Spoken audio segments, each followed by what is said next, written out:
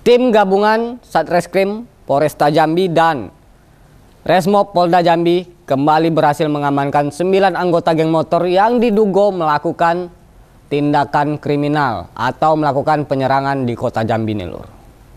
Nah, kayak mana informasinya?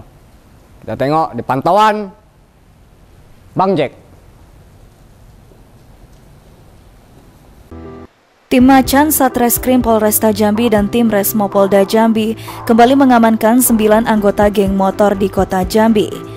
Identitas 9 orang pelaku tersebut ialah Dewa 19 tahun, Rahul 22 tahun, Ilham Riko 19 tahun, BH 14 tahun, LP 16 tahun, AL 15 tahun, RM 14 tahun, AH 15 tahun, dan IF 14 tahun.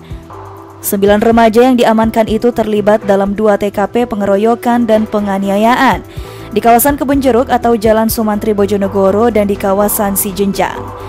Sejumlah senjata tajam milik para pelaku mulai dari celurit, parang, egrek, hingga pedang turut disita polisi sebagai barang bukti.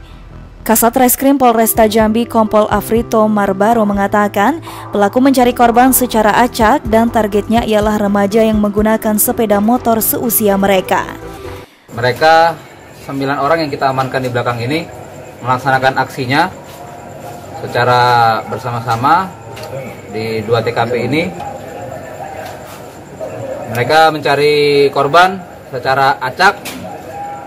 Targetnya merupakan remaja yang sedang mengendarai kendaraan bermotor dan seusia mereka. Usia anak-anak ini di rentan 14 sampai usia 16. Yang dewasa ada dua orang.